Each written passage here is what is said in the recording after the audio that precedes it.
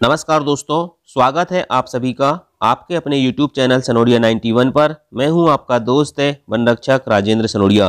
देखिए दोस्तों, आज के इस वीडियो में हम पढ़ने वाले हैं आर आरपीएफ कांस्टेबल परीक्षा 2024 के दृष्टिकोण से जीके के अति महत्वपूर्ण प्रश्न है। और दोस्तों, जैसा कि मैं आपके लिए डेली वीडियो लाता हूँ जीके के, और उसमें आपके लिए मिक्स क्वेश्चन रहते हैं, जिस पैटर्न में आरपीएफ कांस्टेबल में जीके के क्वेश्चन पूछे जाते हैं उसी पैटर्न पर दोस्तों मैं आपके लिए डेली वीडियो लेकर आता हूँ। तो इसमें आपको इतिहास, भूगोल, संविधान, अर्थशास्त्र, खेल, कला, संस्कृति, विविध और जनरल साइंस सभी टॉपिक के क्वेश्चन देखने को मिलते हैं।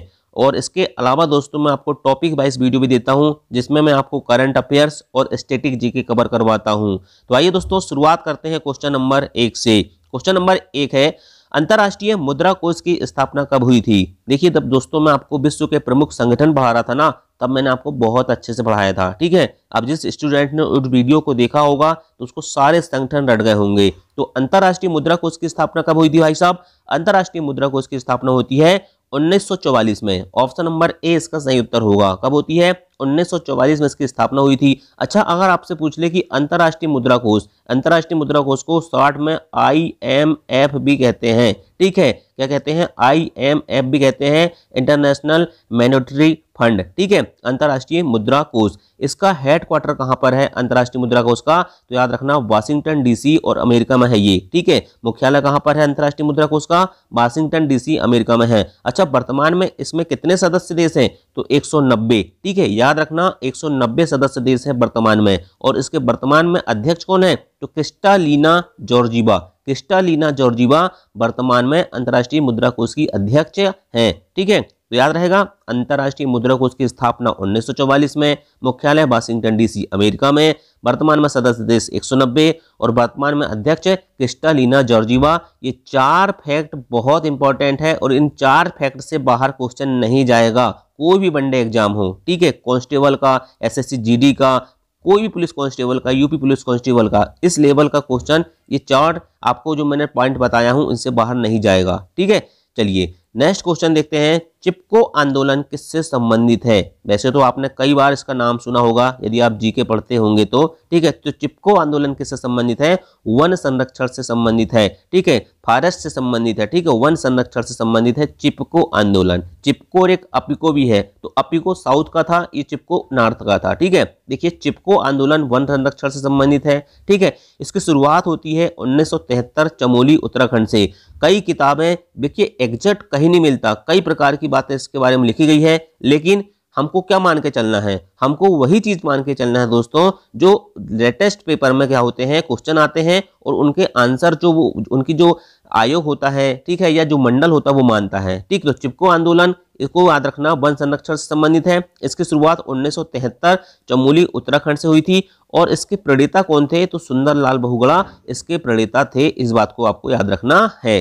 नेक्स्ट क्वेश्चन है ओजोन परत में एक छेद खालिस्तान के ऊपर पाया गया है। तो किसके ऊपर पाया गया है ओजोन परत में छेद? अंटार्कटिका के ऊपर पाया गया है। किसके ऊपर पाया गया भाई साहब? अंटार्कटिका महाद्वीप के ऊपर ओजोन परत में एक छेद पाया गया है। और ओजोन परत कहाँ पर पाई जाती है? तो वायुमंडल का जो समताप मंडल होता है, उसमें पाई जाती है क्या? ओजोन परत। ठीक है? अच्छा ये ओजोन परत करती क्या है भाई साहब? इसका फ़ायदा क्या है? तो याद रखना, सूर्य से आने वाले जो हानिकारक पराबैंगनी विकरण होती है ना, उनको रोकती है ये। ठीक है, क्या करती है? उनको रोकती है। यदि उनको नहीं रोकेगी ना तो कैंसर जैसी भयानक बीमारी हो सकती है। ठीक है? इसलिए याद रखना, ये क्या करती है? हानिकारक पराबैंगनी विकरणों को पृथ्वी तक पहुँचने से रोकती है। अच्छा ओजोन परत में जो छेद हो रहा ना भाई साहब, इसका कारण क्या है? तो सी एफ़ सी यानी कि क्लोरोफ्लोरोकार्बन है। अच्छा ये क्लोरोफ्लोरोकार्बन कहाँ होता है सर? तो क्लोरोफ्लोरोकार्बन होता है आपके घर की जो फ्रीज है ना, और एसी मतलब ठंडी ठंडी, ठंडक देने वाली जो चीज़ें हैं, ठीक है? उसमें होता है ये क्लोरोफ्लोरोकार्बन। ये एक प्रकार का प्रदूषक है, और इसी के कारण क्या है? ये सबसे देखिए, कारण तो कई हैं, लेकिन सबसे मुख्य कारण क्लोरोफ्लोरोकार्बन है ओजोन परत में छेद होने का। ओजोन परत में छेद भी हो रहा है और कई कई जगह ओजोन परत क्या हो रही है, जैसे उसकी डेंसिटी ज़्यादा थी तो अब डेंसिटी क्या हो रही है थोड़ी थोड़ी दूर हो रही है। ठीक है? तो क्या होगा? डेंसिटी कम होगी तो क्या होगा? सूर्य की परावैग्निक किरणें जहाँ पर डेंसिटी नहीं रहेगी, वहाँ से तो आएगी। इसलिए ओजोन परत का संरक्षण करना बहुत ज़रूरी है। ठीक है? ओजोन ओजोन दिवस कब मनाया जाता है? ओजोन परत ओजोन परत संरक्षण दिवस कब मनाया जाता है? कमेंट करके बता दो, है ना? चलिए नेक्स्ट क्वेश्चन देखते हैं भाई साहब। क्वेश्चन नंबर चार। मानव शरीर की सबसे बड़ी ग्रंथि कौन सी है? तो मानव शरीर की सबसे बड़ी ग्रंथि कौन सी है? ये आपको पता होगा, यकृत है। इसको लीवर भी कहते हैं भाई साहब अंग्रेज़ी में। क्या कहते हैं? लीवर कहते हैं। कहते हैं ना कि लीवर डैमेज हो गया। ठीक है, लीवर डैमेज होता है। और लीवर डैमेज कैसे होता है? आपको पता है ना? चलिए बताइए कमेंट करके लीवर डैमेज कैसे होता है? लीवर और किडनी। ठीक तो मानव शरीर की सबसे बड़ी ग्रंथि है यकृत। ठीक है, या लीवर। याद रखना, मानव शरीर की सबसे बड़ी ग्रंथि यकृत बता दिया। सबसे छोटी ग्रंथि जो है, वो पीयूष ग्रंथि होती है। इसे हाइपोफिसिस कहते हैं? क्या कहते हैं?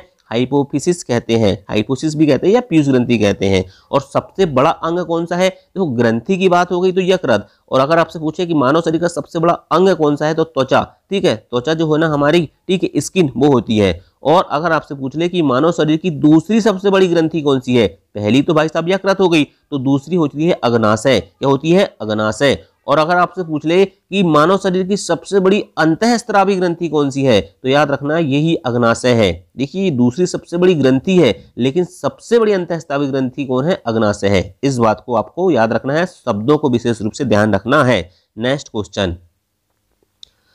बांग्लादेश की संसद का नाम क्या है? देखिए मैंने आपको बता चुका हूँ कि जितने भी देश हैं संसद के नाम मुद्रा के नाम राजधानी बिल्कुल छपेंगे।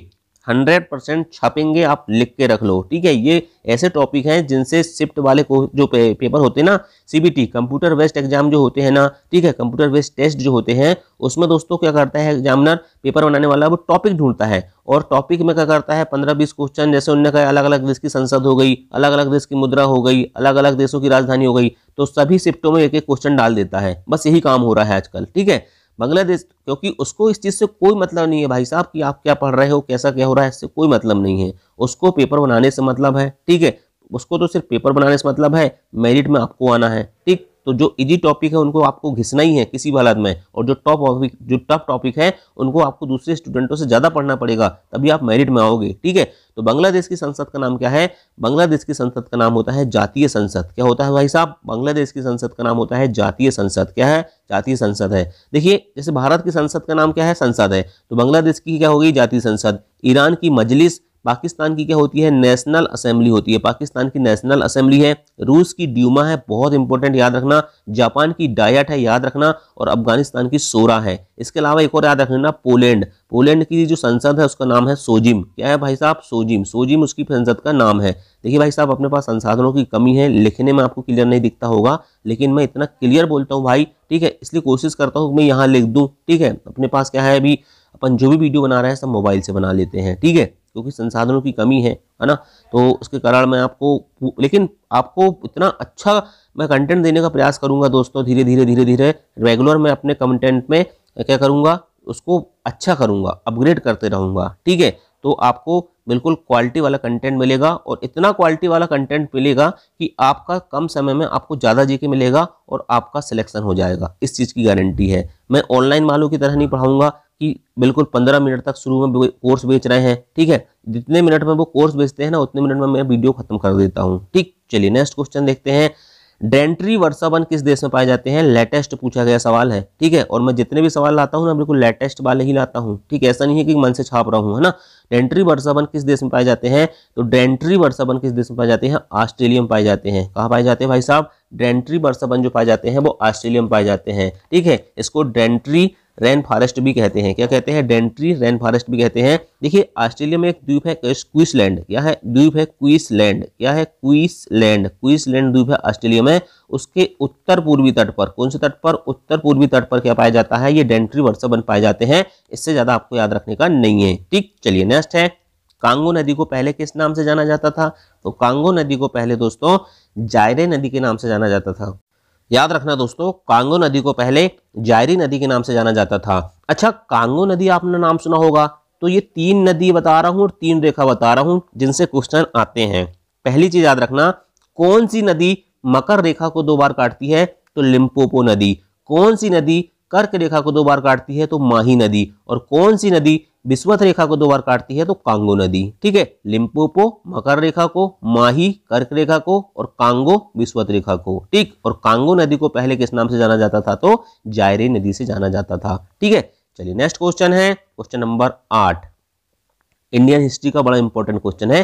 किसे भारत सरकार अधिनियम अठारह के माध्यम से भारत का पहला वायसराय बनाया गया था? दोस्तों, भारत के प्रमुख गवर्नर जनरल एवं वायसराय, ठीक है? मैंने एक टॉपिक वाइज स्टेटिक जीका का वीडियो बनाया है। जब तक आप उस वीडियो को नहीं देखोगे ना, ठीक है, तब तक आपको क्या रहेगा? हमेशा कंफ्यूजन ही रहेगा। आज पढ़ोगे, कल भूल जाओगे। आज पढ़ोगे, कल भूल जाओगे, ये बायसराय वाला टॉपिक इसलिए वो वीडियो जाके देख लेना। प्ले में पढ़ा हुआ है, ठीक है स्टेटिक जीके वाले।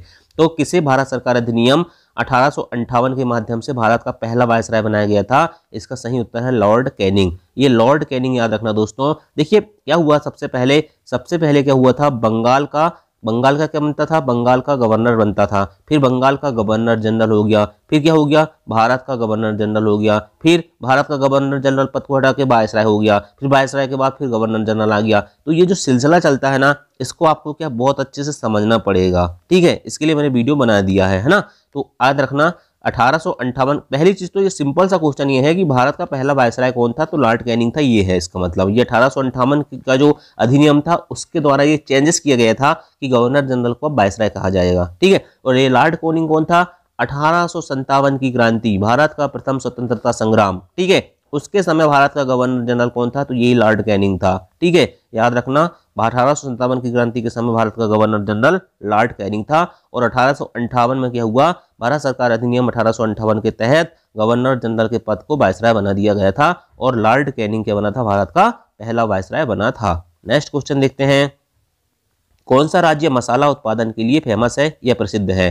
तो इसमें बताने की कुछ ज़रूरत नहीं है। ये बहुत बच्चों वाला सवाल आया था, केरल। ठीक, केरल मसालों के लिए फ़ेमस है, ठीक है? आपको पता होगा, अंग्रेज़ों के समय में केरल समुद्र के किनारे स्थित है तो वहाँ नाव से आते थे और मसाला लेके जाते थे, ठीक है? काजू हो गया, ठीक है? इलायची हो गया खड़ा गर्म मसाला, जितना भी खड़ा गर्म मसाला हम जो डालते हो ना, सब वो केरल में होता है, ठीक? चलिए नेक्स्ट क्वेश्चन है। भारतीय जीवन बीमा निगम की स्थापना किस अधिनियम के द्वारा की गई थी? इंडियन इकोनॉमी का ये क्वेश्चन बनता है।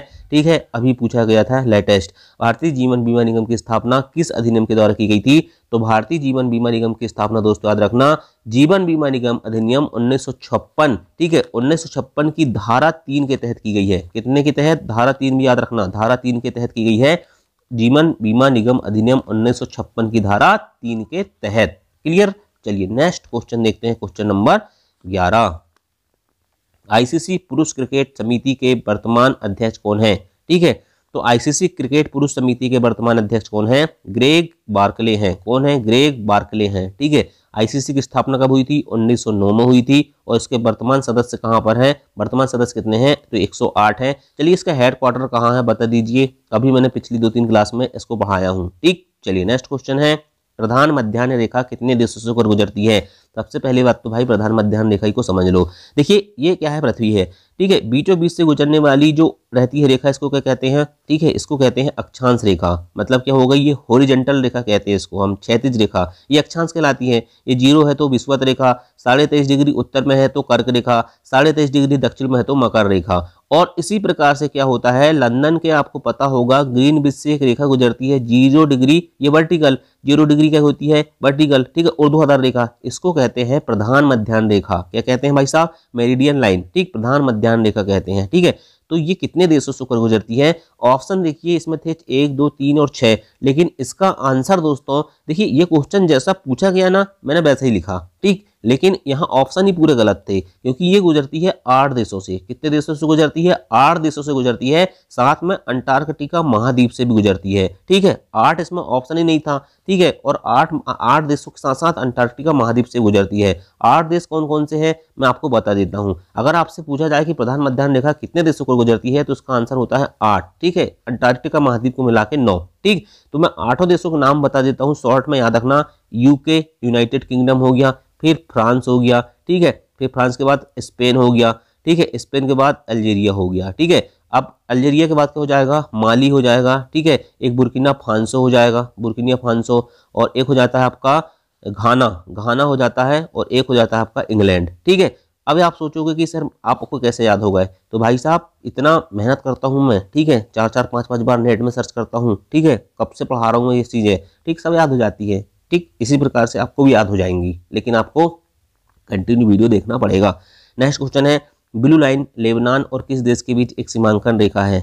देखिए ट्रिक से आपको ज़िंदगी में कुछ नहीं आने होगा ट्रिक से आपका कभी भला नहीं होगा, इस चीज़ की गारंटी आपको दे रहा हूँ मैं, ठीक? ब्लू लाइन लेबनान और किस देश के बीच एक सीमांकन रेखा है? तो ब्लू लाइन दोस्तों याद रखना, ब्लू लाइन जो है लेबनान और इजराइल के बीच एक सीमा रेखा है। सीमा रेखा नहीं है एक्चुअल में एक सीमांकन रेखा है। ठीक है, सीमांकन रेखा है, ठीक है। याद रखना, और कब हुई थी? 2000 में हुई थी। 2000 में इसकी, इसको किसने खींचा था? यूएनओ संयुक्त राष्ट्र द्वारा इसको निर्धारित किया गया था। थोड़ा सा विवाद हो गया था सेना एना का लेके। इसके कारण ब्लू लाइन जो है लेबनान और इजराइल के बीच में क्या है? एक सीमांकन रेखा है। नेक्स्ट क्वेश्चन देखते हैं। पर्यावरण संरक्षण अधिनियम कब पारित हुआ था। तो देखिए दोस्तों, पर्यावरण संरक्षण अधिनियम पारित होता है उन्नीस में, ऑप्शन नंबर बी इसका सही उत्तर होगा। ठीक है, अब देखिए दोस्तों, मैं वन रक्षा को वन विभाग से संबंधित तो पर्यावरण में ट्रेनिंग करता हूँ ना तो बहुत सारी चीज़ें पता है, मैं आपको बता देता हूँ। ठीक है, देखिए भारतीय वन अधिनियम उन्नीस सौ सत्ताईस में आता है। ठीक है, इसके बाद वन्य जीव संरक्षण अधिनियम उन्नीस सौ बहत्तर में आता है। ठीक है, इसके अलावा आपको पर्यावरण संरक्षण अधिनियम बताया तो ये आता है उन्नीस सौ छियासी में। इसके अलावा वन संरक्षण भी आता है भाई साहब, वन संरक्षण भी आता है, ठीक है? तो वन संरक्षण वाला अलग है, वन संरक्षण और पर्यावरण संरक्षण अलग है। वन संरक्षण अधिनियम कब पारित हुआ था, ये आप मुझे कमेंट करके बताना, ठीक है? मैंने तीन आपको बता दिया हूँ। पर्यावरण संरक्षण उन्नीस सौ छियासी, भारतीय वन अधिनियम उन्नीस और वन्य जीव संरक्षण अधिनियम उन्नीस सौ बहत्तर, ठीक है?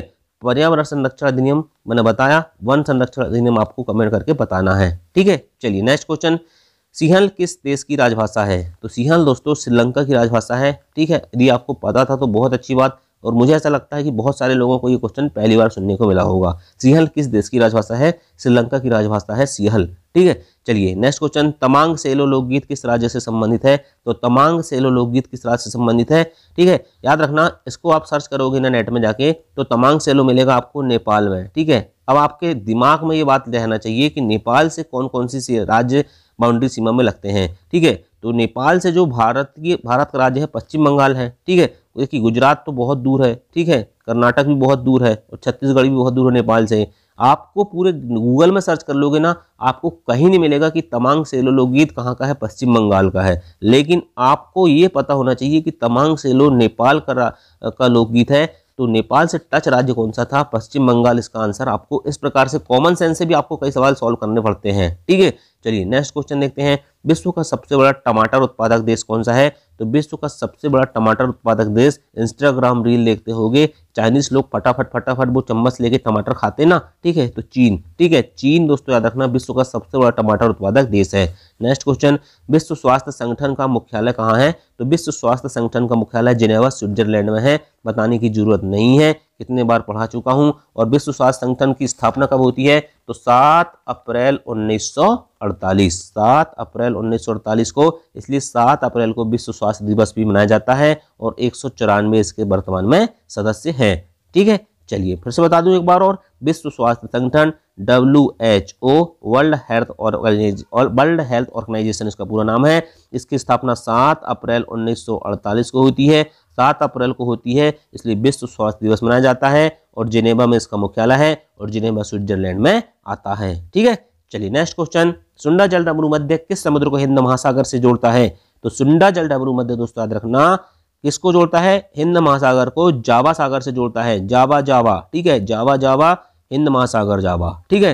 हिंद महासागर, सुंडा जल डमरूमध्य जोड़ता है। और ये सुमित्रा द्वीप है जो है, सुमात्रा द्वीप जो है दोस्तों इंडोनेशिया का, ठीक है? सुमात्रा द्वीप जो है इंडोनेशिया का, ठीक है? और जावा द्वीप है, उसके बीच में क्या होता है? उसके बीच में एक जल संधि है। ठीक है, क्या है? जल संधि है। Next question and last question, doctor Bhimrao Ambedkar ने किस अनुच्छेद को भारतीय संविधान की आत्मा कहा है? तो याद रखना, डॉक्टर भीमराव अंबेडकर ने अनुच्छेद बत्तीस, संवैधानिक उपचारों के अधिकार को भारतीय संविधान की आत्मा कहा है। ठीक है? अच्छा चलिए बताइए मुझे कमेंट करके कि भारत की प्रस्तावना को, भारत की प्रस्तावना को किसने संविधान की आत्मा कहा है, जरा कमेंट करके बताइए, ठीक है? और आज का क्वेश्चन दोस्तों, जो आपको ऊर्जावान बनाएगा, ठीक है? आपकी मेमोरी को चेक करेगा, ठीक है? अगर आपने पूरा वीडियो ध्यान से देखा तो इन दो सवालों के जवाब आपको देना है। ओजोन परत किस मंडल पाई जाती है? कौन सी नदी मकर रेखा को दो बार काटती है? ठीक है? वीडियो पसंद आया होगा तो लाइक कर लेना चैनल को पहली बार आया होगा तो चैनल को सब्सक्राइब कर लेना। थैंक यू जय हिंद जय भारत